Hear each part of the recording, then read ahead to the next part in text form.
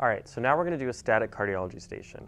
Remember, this is where you have to identify four rhythms within a six minute time frame and treat them accordingly to the patient. Watch for key indicators as we go through this station and look for things that I do to make sure I'm successful as I go through. You are a paramedic with an urban EMS system. You and your partner respond with a four-person engine company to the following patient. A 10-year-old male who is outside playing catch with his father. The ball hit him in the head when he failed to catch the ball. As you arrive, he is crying, but acting appropriately for his age. Vitals are as follows. Pulse matches the monitor. Blood pressure 100 over 76.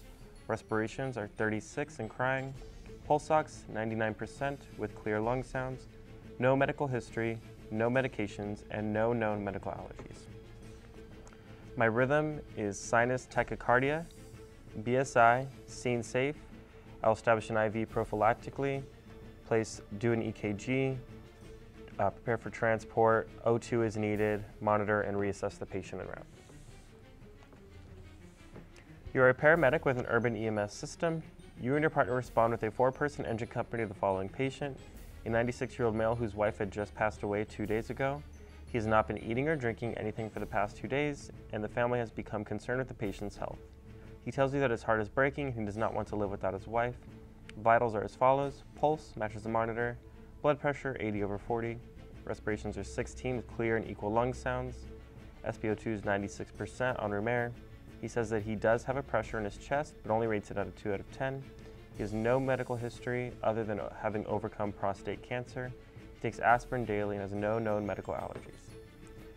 The rhythm is atrial fibrillation. I'll take BSI, scene is safe. I will place a monitor on the patient, place the defibrillation pads on the patient, do an EKG to confirm the rhythm. I will place an IV, and I will go ahead and prepare to sync cardiovert the patient at 120 joules. If that is unsuccessful, I will move to 150 joules and then 200 joules lastly.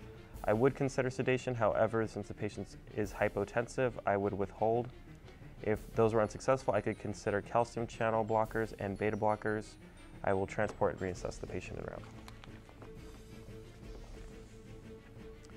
You're a paramedic with an urban EMS system. You and your partner respond with a four-person engine company to the following patient. A 20-year-old female that suddenly had an onset of chest pain and rates it out of 10 out of 10. She states that she cannot breathe and does not know why. Vitals are as follows. Pulse matches the monitor. Blood pressure is 90 over 40. Respirations are 28 and labored. SpO2 is 96% on room air. She gets very dizzy when she stands up, and upon transfer to your gurney, she becomes unconscious. Unknown history, medications, and allergies. Okay, my rhythm is supraventricular tachycardia.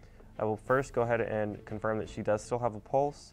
I will place her on the monitor, place the defibrillation pads, get an EKG to confirm, place a large bore IV, and I'll prepare to sync cardiovert the patient since she is unstable. I will start at 50 joules. If that does not work, move up to 100 joules. If that's unsuccessful, 150 joules. Lastly, 200 joules. If that still is not successful, I will then go into adenosine. I will initially give a rapid 6 milligram IV push, followed by a 20 cc normal saline flush. If that is unsuccessful, I'll move to a 12 milligram adenosine push, followed by a 20 cc flush. Reassess en route, transport, and monitor for any changes. You are a paramedic with an urban EMS system. You and your partner respond with a four-person engine company to the following patient a 39-year-old male in cardiac arrest. You arrive and the police are doing CPR. You confirm that the patient is pulseless and apneic, and you see the below rhythm on the monitor. So the rhythm is sinus rhythm with a first degree AV block with the condition of PEA. Since I've already confirmed that the patient is pulseless, I'll take my BSI, my scene is safe, I'll have my partner continue chest compressions. I'll go ahead and establish large bore IV access or IO access and prepare to give one milligram of 1 in 10,000 epinephrine, rapid IV push every three to five minutes since this rhythm is not shockable. I will place pads on the patient if I didn't already do so, reassess, and run the code following ACLS protocols. And I'm done with my station. Would you like to make any changes? No, ma'am. Okay, now let's talk about how that went. If you notice, with each scenario, I took my time with it. The first thing I did was I would cover up the rhythm strip itself. I made sure I read through the patient scenario slowly and in its entirety. Why did I do that? That's important because I was making sure that I'm treating my patient and not just the rhythm on the monitor. As I went through, I identified if they were stable or unstable, had a pulse or no pulse, and what I was going to do for them.